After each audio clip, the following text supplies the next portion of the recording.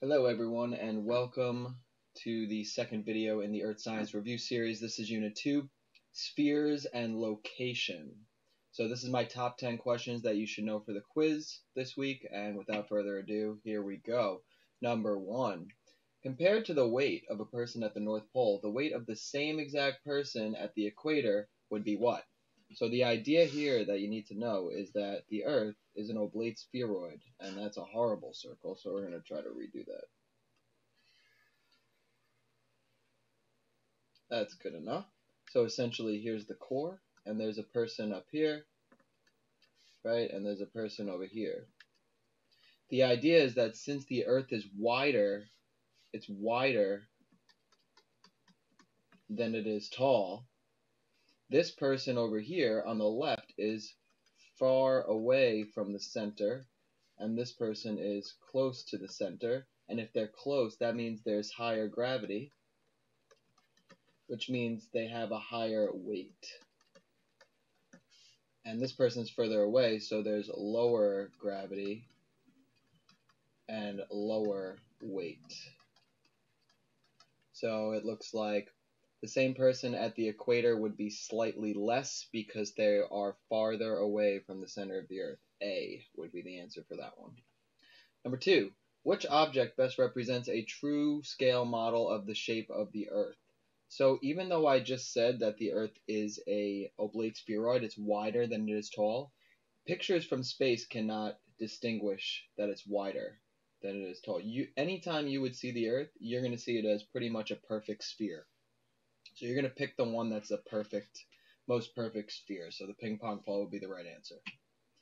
Number three, in which two temperature zones of the atmosphere does temperature increase as you increase your altitude?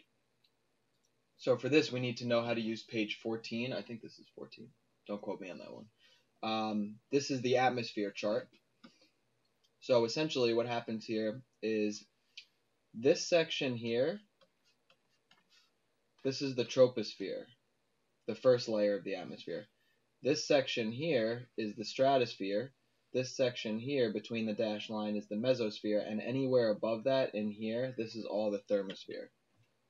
So on that note, knowing that, the black line is where you get all your information. So from this point here, which is the ground, would be 15 degrees Celsius, to this point right here, as we go up, this is negative 55 degrees Celsius. So in the troposphere, right here, in this area, the temperature drops. If we repeat the same thing for the stratosphere, we start here for the stratosphere where the troposphere ended, and as we follow the line, the temperature goes up to zero, so that means that it went from negative 55 to zero, which means it increases in the stratosphere, and the reason for that is because the stratosphere has the ozone layer and the ozone layer protects us from harmful UV radiation. It stops it. So that's good for us. So starting from the stratopause dot now, going up in the mesosphere, the temperature went back down to negative 90. So it went down in the mesosphere. This is actually the coldest point in the atmosphere, in the mesosphere, negative 90. You see the graph doesn't go any more left than negative 90 on the black line. And then the thermosphere, follow it up, it goes all the way up really, really high. So the pattern is it goes down in the troposphere, up in the stratosphere, down in the mesosphere, and up in the thermosphere in terms of our temperatures. Now, other things to look out for in this on this graph is the kilometers here and the miles. They go up by a different amount. So the miles go up by 5, 5, 10, 15, 20, and this goes up by 10. 20, 30, 40.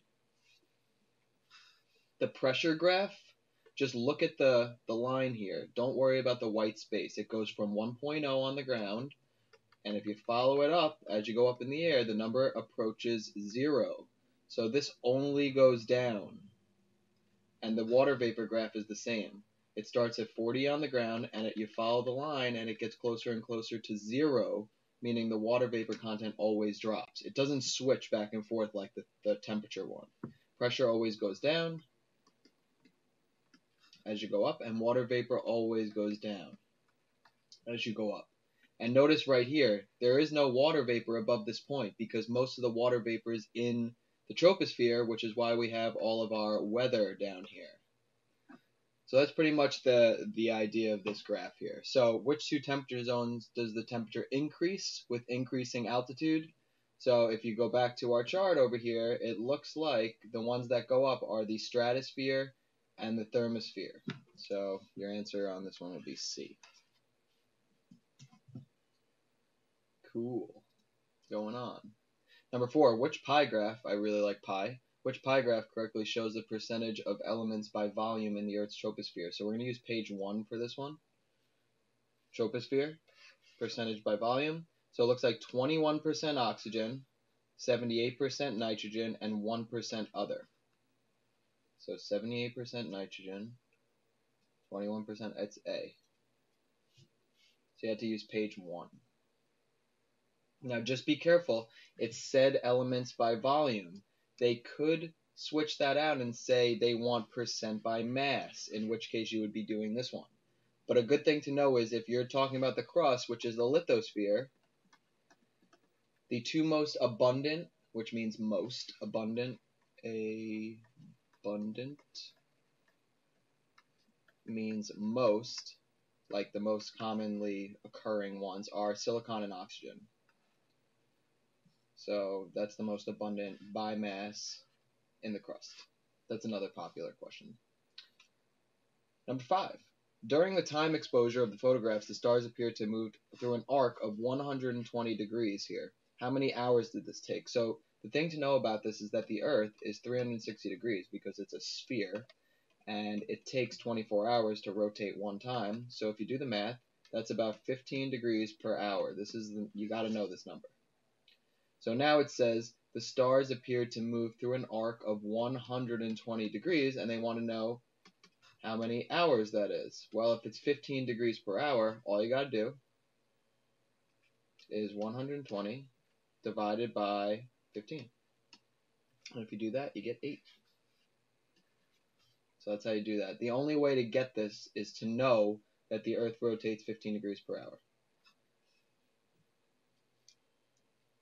Another thing to know is that this star in the middle right there, that is Polaris, because it does not move in this in the northern hemisphere, because it's on the Earth's axis.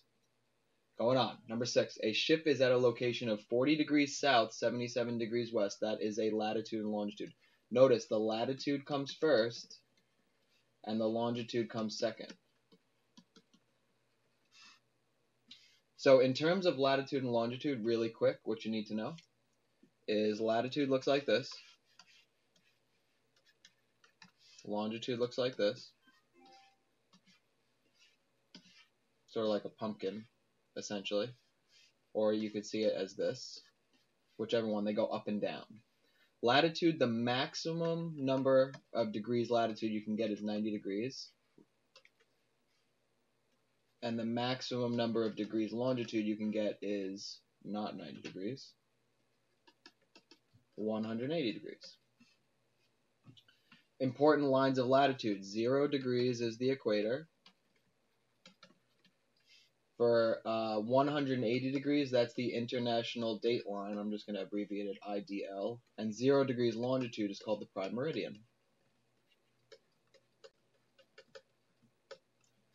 Latitude measures no, degrees north and degrees south, and longitude measures degrees east and degrees west. And when you write latitude and longitude, you always are going to write it like this parentheses, a number, degrees north or degrees south, comma, a number, something degrees east or degrees west. The, the latitude comes first in the coordinate and the longitude comes second.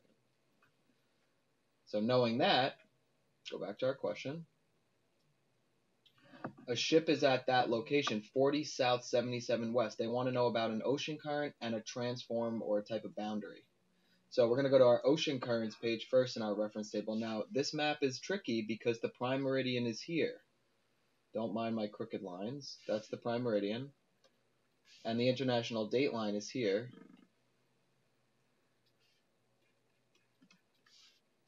Here's the equator. So anywhere above this point here is the north, anywhere below is the south. But to find east and west, east is anywhere east of the prime meridian here. So this is the eastern hemisphere, but it stops at 20 degrees and continues from this 20 degrees to this 180. So this is eastern hemisphere, which makes this side the western hemisphere. So let's go back to the question. It says 40 south, 77 west. So ready? 40 degrees south, so this is 0 degrees. Here's 20, 40, 60. So 40 degrees south is here. And then I already forgot. I think it was 77 degrees west. Okay. So that's here's 60 and here's 80. So 77 is right here. So you go down and sort of meet those spots. It looks like we're talking about the Peru current. And if you look down here, that is a cool current. So then you got to go to that exact same map on page 5 to get the boundary, which looks like we're right here, the Peru-Chile Trench. And that symbol is right here, which is convergent. So this map works the same. The prime meridian's here, which means this is east, this is east, here's the international date line, and this is west. So you got to be mindful of the hemispheres on that one. So it looks like cool and convergent. So D. A little test taking strategy that I like is if you cover all these answers up on your paper and then figure out the answer yourself and then see if that choice is one of them, that could make your life a little easier. All right, we're going on. Number seven, what time is it in Greenwich, England at zero longitude when it's noon in Massena, New York? So, first of all, Greenwich, England, they told you was zero degrees longitude. So, we're going to put a line with zero degrees and we're going to put a question mark because they want to know the time there. It's noon in Massena. We don't know where Massena is, but it's a location in New York, which means automatically it's definitely on page three in the reference table. So you go to page three, which is right here, and Massena, if you look at all the cities, and by the way, the cities are on the dots next to the name. They are not the actual word. So here's Massena, you could see, but the dot for Massena is right here. So what's the longitude of Massena? It's about 75 degrees. So it's about. It's actually 74 degrees and like 45 or 50 minutes west. So now that we know the longitude of Massena, we could say Massena is somewhere west of the prime meridian. So how far west? Well, about 75 degrees. So each line is going to be 15 degrees longitude. So here we go 0, 15, 30, 45, 60, 75. Here's where Massena is. So somewhere here, they said it's noon, 12 p.m. in Massena. So what time is it in the prime meridian? Well, as you go east, time will increase by one hour per line. So this is going to be 1 p.m., 2 p.m., 3 p.m., 4 p.m., which means in Massena, I mean, in the prime meridian, it is 5 o'clock p.m. So it's as you go west, time will get less. And as you go east, time will increase. So that's how you remember that. The big thing to know is 15 degrees per one hour. 15 degrees per one hour. Okay, base your answers to the following question on the map below. Which two observers would be experience the same time. Anything to do with time, the answer is longitude. So which two of these people are on the same line of longitude, which are the lines that go up and down? So we got A and D have the same time, B and E have the same time, and C and no one. So B and E, is that an answer? Yes. Is A and D? No, because if they put A and D as an answer, there would be two right answers. The other ones they put are B and C, but those are both on a line of latitude, so that's there to trick you. And D and E, again, they're both on a line of latitude. You want the ones that go up and down for the time. Going up. As a ship crosses the prime meridian, the altitude of Polaris is measured 50 degrees. What is the ship's location? So here's the big thing to know. The altitude of Polaris is equal to the latitude of the observer or of the person. So this person is seeing Polaris at 50 degrees, which means their latitude is 50 degrees north. It cannot be south because we don't see Polaris in the south. So 50 degrees north is right here. I don't even have to finish the question because that's the only one is the answer. But the prime meridian is 0 degrees longitude, so C is the right answer. Number 10. New York State's highest peak, Mount Marcy, is located at approximately approximately what? So here you see minutes. Anything with minutes on it is going to be on page 3 on your reference table. There's no other spot that does it. So here we go. Find Mount Marcy, which is right here. And it looks like we're going to do latitudes first, 44 degrees and a little bit above that, so maybe 44 degrees and 5 minutes north, comma. And then for longitude, here's 73, here's 74. It's before 74. So I like 73 degrees and maybe like 50 minutes west. So first of all, all everywhere on this map is north and west, no matter what. So let's see if there's any we can eliminate. So north and west, north and west. Oh, they're all north and west. Look at that. So we don't we can't do that. But the latitudes are going to be in the 40s. Because if you look, it only goes 41, 42, 43, 44, 45. Those are all the latitudes. So that's the first number. The first number has to be in the 40s so I can get rid of C and D. So 44, what did I say? 44 and 73? 44 and 73. Yeah, so B looks like I got the closest. Okay, um, this video is brought to you by, of course, every YouTube video has to have a sponsor and advertiser. Um, if you draw on the top of your quiz on Tuesday a circle, or whenever day the quiz is, a circle with like an earth like this, that's an earth, and then you put a smiley face in the middle like this, I will give you plus one on your quiz. And that's for watching this video. So plus one if you draw a earth with a smiley face somewhere on the front of your quiz, uh, where your name is. Uh, don't tell your friends about this. Tell them to watch the video so they get the review. Okay, cool. And of course, there is a bonus question. Number 11. Since Denver's longitude is 105 degrees west and Utica's longitude is 75 degrees west, sunrise in Denver occurs when? Okay, check this out. This is a tough question. So it looks like Denver is at 105 degrees west. So that's Denver. And then Utica is 75 degrees west. So check this out. Imagine, let's just say the sun rises at 6 a.m. So it says,